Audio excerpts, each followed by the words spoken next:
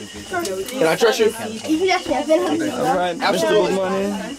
Where can we start walking? She's gonna start the introduction. Yes, my sister. Ja, ja, ja. hallo.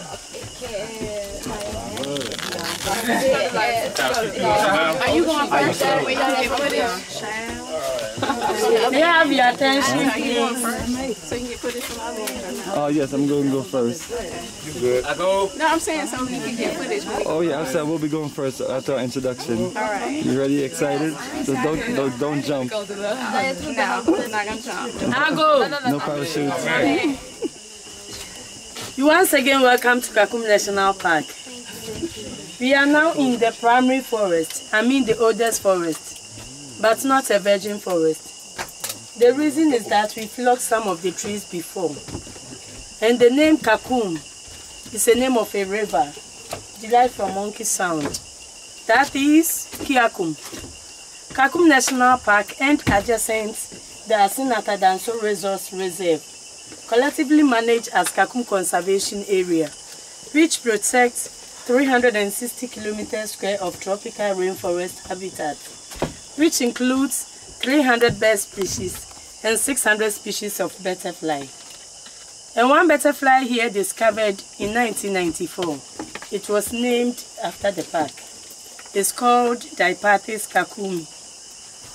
We have a lot of animals here. They are nocturnal animals, meaning they are active in the night. So hmm. during this time, it's very hard for you to see the animals. Unless you fall down And there, right? since the forest is thick, if they are hiding here, we cannot see them. And the noise we make too also drives them away. I see a We have forest elephant. We have duiker, it's a species of antelope. We have mongoose, leopard. We have grass cutter, but please no tiger, no lion. It cannot survive in the rainforest. I have a question. We also have two activities here. We have the canopy walk and the nature walk.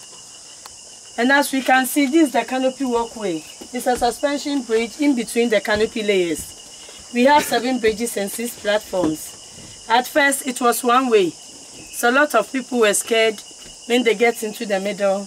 They start screaming, crying. so we've now constructed a new bridge after the first one. Called a chicken exit. So when you get to the first platform, we have two ways over there.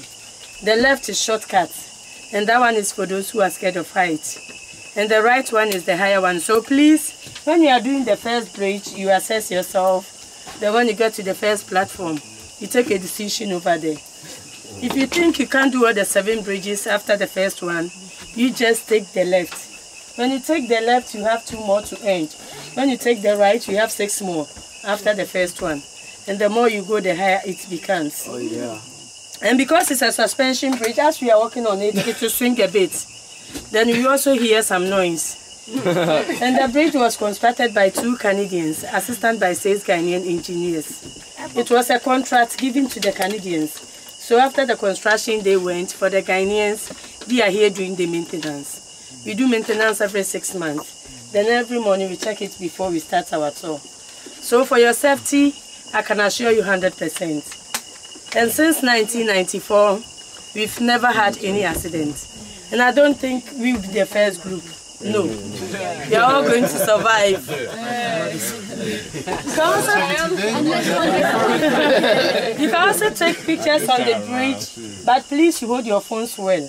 When it falls, I cannot take it for you. And the height of the bridge, it started from 11 to 40 meters high, and the length is 350 meters long.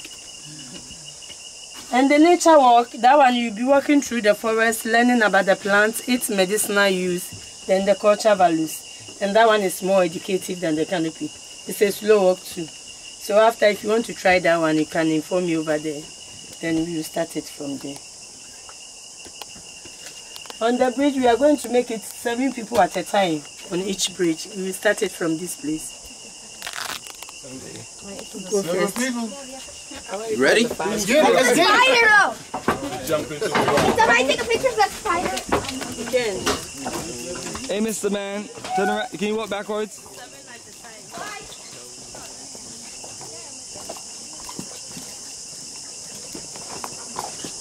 All right, family.